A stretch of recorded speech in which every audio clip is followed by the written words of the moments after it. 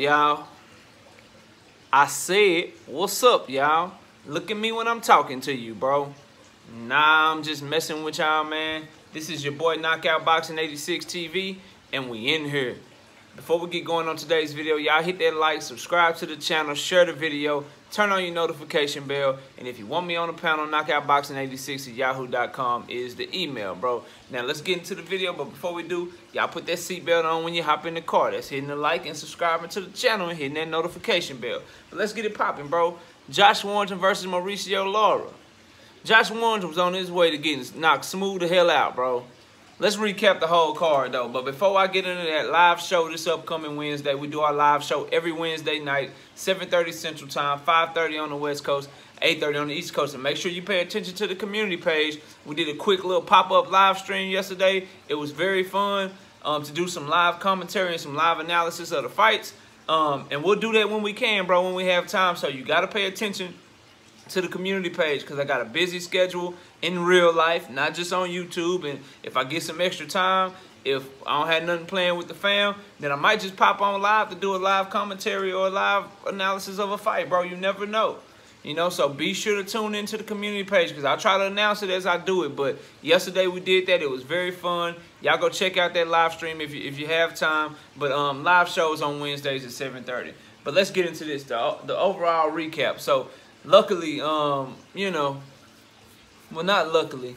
I just want to say my sports book is acting in good faith with your boy. They still got my parlay going. I thought it was going to be messed up with the result of the Josh Warrington and um, Mauricio Lara, but they did the right thing. They threw out that fight for your boy, so we still got our parlay going. As long as we get all our fights right today, your boy still get to come up on some cheddar. So I'm happy about that and looking forward to tonight's fight. But let's talk about where we were right and where we were wrong yesterday on our picks. So we went two and one, and then obviously we always throw out our draws on this channel. So we got two fights right yesterday, one fight wrong. Um, and so now our overall record is 94 wins and 19 losses on our predictions. Now, the first one that we got wrong, man, shout out to Maxi Hughes, man. He beat Jovanni Straffon very convincingly. I'm talking 11 rounds to one maybe 10 rounds to two if you try and be generous, but I had it like 11 rounds to one. The only swing round to me was the first round.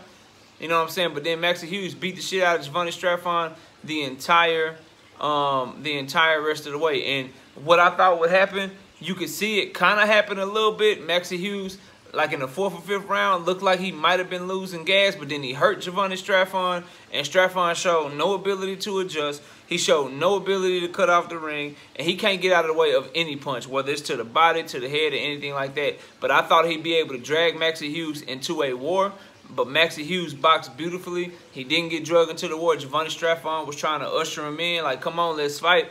Maxi Hughes ain't paying no attention. He boxed circles around him. Straffon was a step too slow all night. So we got that one wrong, bro. We got that one wrong. Usually, the pressure fighter, if they're good enough, they can force the boxer to fight if the boxer isn't agile enough. Now, I still don't believe Maxi Hughes is as agile as the top, top level fighters, but he's agile enough for somebody like Straffon, and that's why I was wrong. That's why I messed up.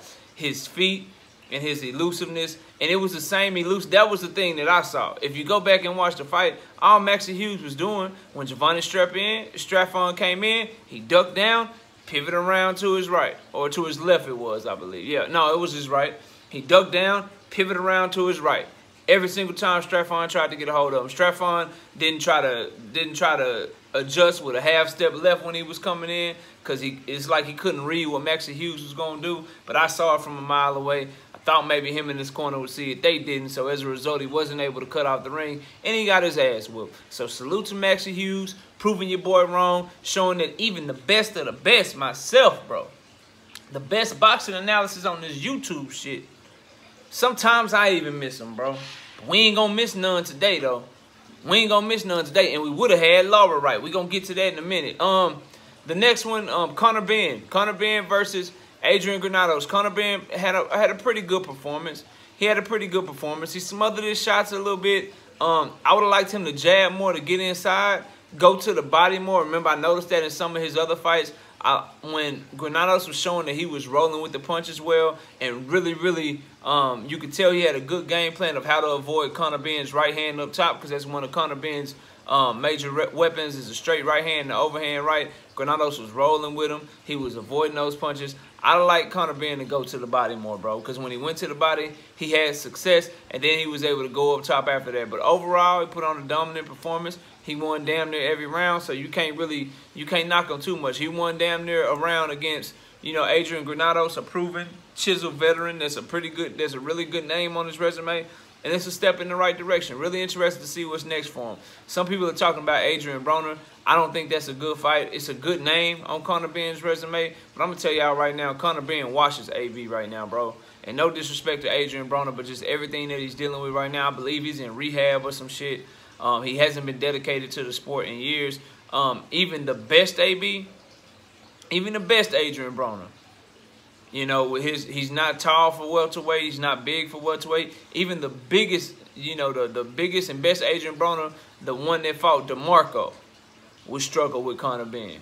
That one would be a 50-50 fight. This one here ain't no 50-50 fight. Conor Benn will do exactly what his nickname is. His nickname is the Destroyer. He would destroy Adrian Broner, in my opinion, bro. Now, um, the Katie Taylor versus Jennifer Han fight. I told y'all Jennifer Han had some good boxing skills, but I told y'all Katie Taylor's activity intensity would be the difference in the fight, and that's exactly what it was. Jennifer Han had her moments where she was elusive, where um, she frustrated Katie Taylor. Katie Taylor wasn't able to be nearly as aggressive in the beginning of the fight as she would like to, but eventually she got her timing down. She understood what Jennifer Han was trying to do, and she landed more punches. Jennifer Han, with that elusivity that she had, she wasn't throwing enough punches, so she still wasn't able to get rounds off of Katie Taylor because Katie Taylor was throwing more and landing more early in the fight. Throwing more and landing more earlier in the fight, but as the fight went on, we get round 6, 7, 8, 9, 10. Katie Taylor dominated the back half of that fight on her way to a unanimous decision. Jennifer Han was upset um, that the scorecards were so wide. You could see it when the scorecards were announced. She was yelling, wow. You know what I'm saying? But I would just say, you got to let your hands go. You got to let your hands go. She was too defensively oriented um, with Katie Taylor, who, yeah, I mean, Katie Taylor, she's a solid puncher. She got six knockouts in 18 fights. But it ain't like she's somebody that you can't trade with. And if this is the moment of your life, this is your chance to become undisputed in the lightweight division, if you um if you Jennifer Han, she should have let her hands go more, bro, if she wanted to have a chance. But Katie Taylor clearly won that fight, clearly got that victory. Um, and so it is what it is with that. Now let's get to the main event, bro, because I'm highly disappointed. I'm highly disappointed in the main event. Listen, say what you want, say what you want, but Warrington was on his way to getting knocked out, in my opinion, bro. Now they called it a technical draw because of an accidental headbutt that um cut Lara's eye, made a nasty cut over his eye. I can't call it accidental though, bro. Warrington headbutted Lara and he was lunging in like four four or five times in the first two rounds. Now, my scorecard was one round to one. I clearly gave the um the first round to Warrington. I thought he I thought he fought well. I thought he landed more shots, but he did that in the first fight. He did that in the first fight. And I believe um, Warrington also won the second round in the first fight. What was different in this second fight and as I told y'all, I believe Lara started getting to Warrington earlier. And I thought if you go to look at the last minute, if y'all got the zone out, go look at the last minute and a half of the second round. Lara was catching Warrington flush, and he even caught him some in the first round. He was catching him flush with that overhand right, and he was working Warrington's body very well and punching Warrington all across the ring, bro. And Warrington was still shuffling he wasn't jumping in and out. I don't think he got the legs he used to have, y'all. I don't think he can jump in and out for 12 rounds. And what, what last night showed me, although it was a technical draw, Warrington can't stay away from Lara, bro. He can't stay away from Lara. And you give Lara five, six more months to train, you know, continue to grow into his body because he's only 23 years old. He was too strong for, for Warrington last night, in my opinion. That's why Warrington, if you notice, every time Lara would connect, every time Lara was in range, the reason those headbutts happened is because Warrington was jumping in headfirst to try to grab Lara, to tie him up, to get the refs to break them up so he can try to box more from a distance, bro. When they were exchanging, they both landed, like, Warrington was still exchanging with Lara, which we said he couldn't do. He was getting rocked to the body. Lara's offensive attack was much more diversified, in my opinion. Warrington was landing some good shots up top. But you could see he couldn't really hurt Lara, bro. Lara was walking through it. But when Lara landed on Warrington, he had to take a couple of step backs to refocus and regain himself. And it, it just it's, it's nothing he can do to get away from Lara, in my opinion. So I'm mad that my parlay almost got messed up, but salute to my sports book for throwing that, that out.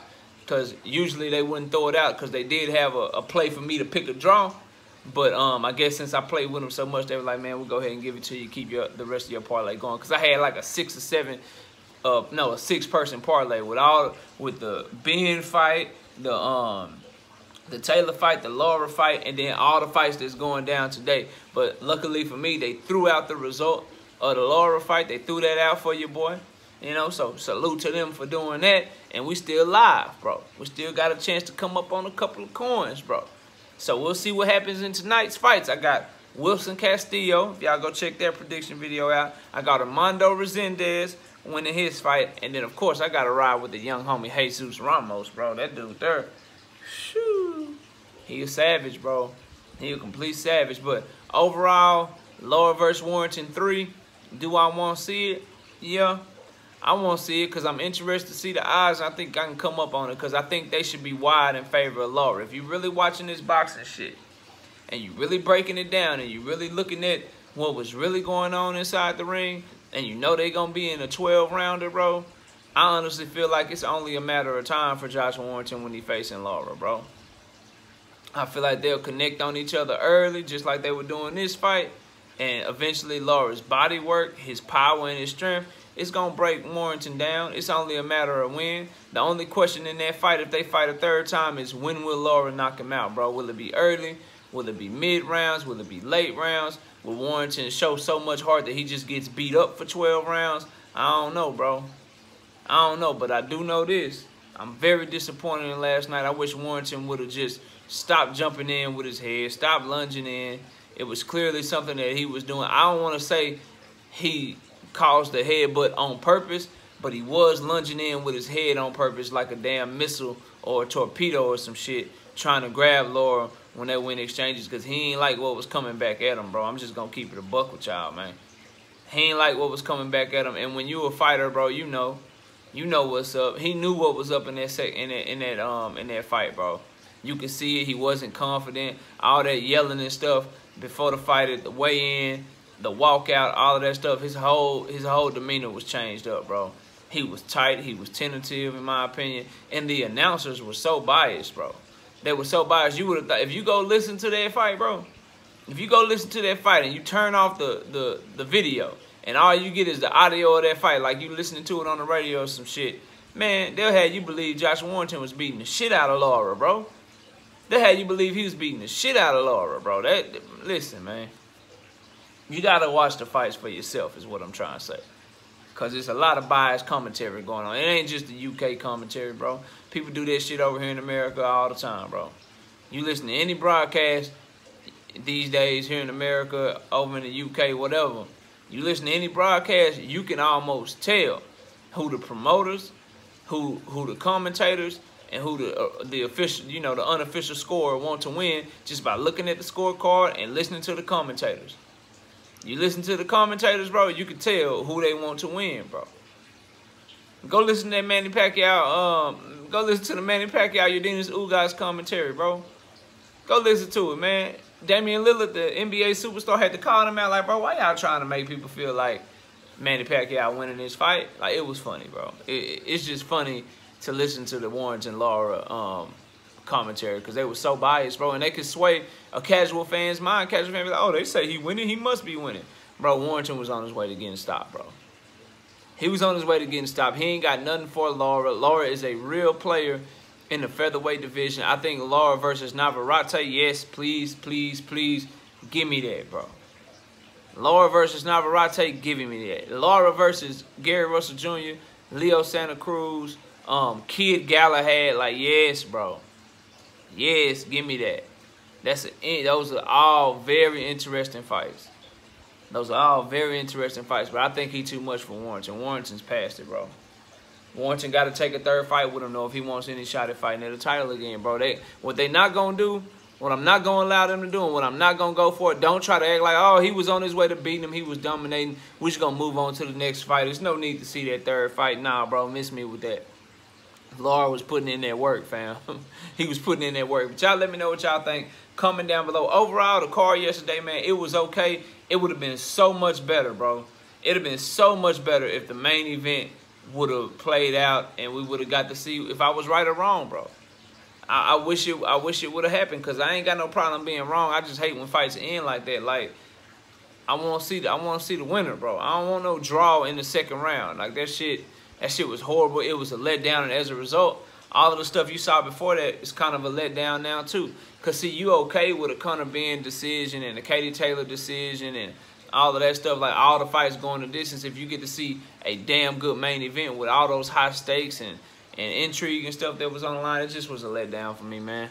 But overall, we got more boxing today. Should be a fun day of boxing. So y'all be sure to tune in tonight. It's going down on Fox. It's the PBC card. It's happening at 7 p.m. Central Standard Time. So y'all check that out. Y'all know your boy gonna be watching. But I appreciate y'all watching the video. Everybody enjoy the rest of your day. Don't forget about our live show every Wednesday night at 7.30 p.m. Central Time. And stay tuned to the community page for announcements for when we do little pop-up live streams, bro. Stay tuned on the community page for that. But I appreciate y'all watching the video. Enjoy the rest of y'all day. And with that, we out here. Peace, y'all.